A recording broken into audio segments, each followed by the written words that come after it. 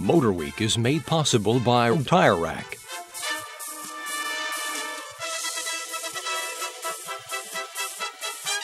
Your host from Motor Week 91, John Davis. Well, hello and welcome again to Motor Week 91. We're glad to have you with us. After several years in limbo, thanks to safety concerns, convertibles have again become quite popular. Everyone from Ford to Infiniti now has at least one on the market. A model that's in demand is Chevrolet's Camaro convertible. It's built on the F-body platform, which also forms the basis for the Pontiac Firebird. But up until now, Pontiac didn't have an F-body ragtop of its own. All that changes for 91 with the introduction of the Firebird convertible. It promises a combination of wind in the hair excitement and classic American muscle car fun. Let's see how well it delivers. Our Pontiac Trans Am convertible test rig certainly delivers in the looks department.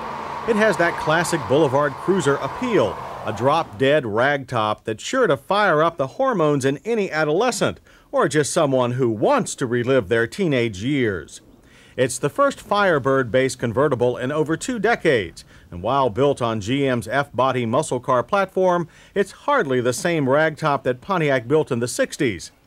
It only took one drive for us to discover its most infatuating trait, an almost total lack of convertible body flex. Pontiac and ASC engineers have done such a good job of reinforcing the Firebird chassis that we could detect hardly any structural difference between our Trans Am convertible and the hardtop Firebird GTA that we tested last year. The quality of our Trans Am convertible's chassis stiffness really comes home when the car is pushed hard. That we did on the two-mile road course at Memphis International Motorsports Park. It exhibits all the usual F-body characteristics, such as mild front push and quick power steering that gives plenty of road feel. Our car was equipped with the optional WS6 Sports suspension package. Get hard on the throttle in a corner and the tail breaks loose easily, but it's in a smooth, predictable manner. The extra chassis stiffness also eliminates the heavy tire scrub that afflicts so many convertible conversions, making this Trans Am the tightest handling four-passenger ragtop around. Take that, Tokyo.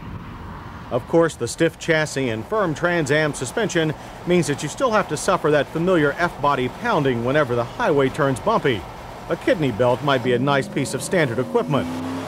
But over more normal surfaces, it takes a wide expansion joint to produce uncomfortable vibrations. Trans Am convertible power comes from a 5-liter V8 engine that makes 205 horsepower and 285 pound-feet of torque. The more restrained Firebird convertible gets by with a 140 horsepower 3.1 liter V6, the same engine that powers most Grand Prix. The V6 is mated to an automatic. Our car's V8 feeds through a 5-speed manual. The shifter feels a bit notchy, but has a very American long, accurate action. The clutch is one of the most progressive units that GM has ever given us, but the poor pedal position, hung too far up the firewall, makes it very tough to operate smoothly. A four-speed automatic is also available. Finally, our Trans Am's horses reached the street through 16-inch alloy wheels. The WS6 package trades 60 series rubber for extra sticky Goodyear ZR50 Eagles. The combination of all the above makes 0 to 60 times of 7.8 seconds and a quarter mile time of 16.2 seconds at 86 miles per hour. The Trans Am convertible adds only 100 pounds of weight over a comparable coupe. The 5-liter V8 has substantial torque, yet revs faster than many other engines of its type. Power delivery is generally flat, though it does tend to peter out quickly as the engine approaches redline. Braking for the convertible is done by vented disc up front and drums in the rear, proof that this car is no spring chicken. They stopped the car from 60 and 120 feet. There was some right front lockup, but it was controllable. More importantly, the brakes held up to hot Memphis laps, too many to mention. Now, we've covered all the robust technical bits, so let's look more closely at the most obvious reason for our Trans Am test. The shape of the convertible top is low and unobtrusive. It's available in black or beige. The backlight is plastic and thus doesn't contain a defroster.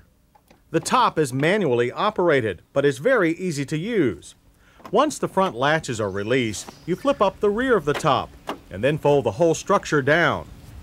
Close the hard plastic tonneau cover and you're ready to drive away. Raising the top is equally trouble-free. The current Firebird cockpit has never been a sterling example of automobile ergonomics, and the loss of its top hasn't changed that. It is, however, quite roomy for its type, and even tall drivers fit comfortably with the top up. The spread out dash arrangement with its long row of gauges is the feature most in need of redress. But the gauge faces themselves, when you can scan them, are large.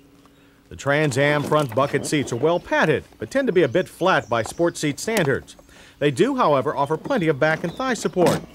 The optional leather on our car was soft and looked like it would take the sun well.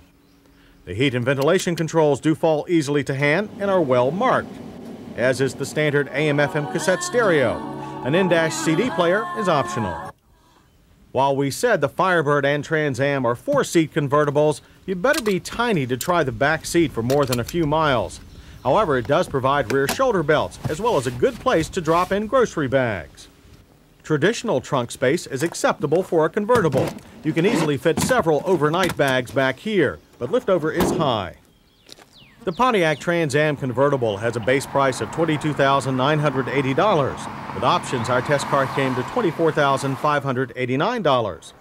The V6 Firebird version trims over 3 grand off the Trans Am's base price, beginning at $19,628, and that includes most of the Trans Am's body panel add-ons.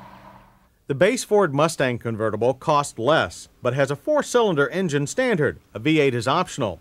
It's also not as structurally stiff as the Firebird, nor does it handle as well. It does offer a better organized interior and a glass rear window. The rear of a Pontiac Firebird or Firebird Trans Am convertible is the part that most other car owners are likely to see. It leads the convertible pack when it comes to muscular performance, and it also helps that Pontiac kept a reasonable lid on prices.